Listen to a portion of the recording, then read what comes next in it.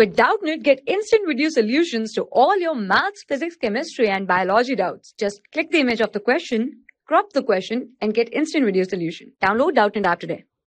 Hello students, our question is a radio can tune to any station in 7.5 MHz to 12 MHz band. The corresponding wavelength band is. So solution is if we uh, calculate wavelength corresponding to 7.5 MHz frequency hertz frequency then lambda 1 will be equals to c upon nu which is c is 3 into 10 raised to the power 8 and nu is given 7.5 into 10 raised to the power 6 on solving we will get 40 meter and if we calculate wavelength corresponding to 12 megahertz frequency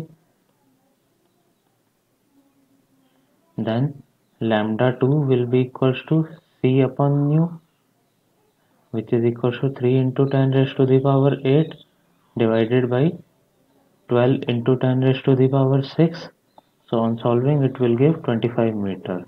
So our final corresponding wavelength band is between 25 meter to 40 meter and this is our final answer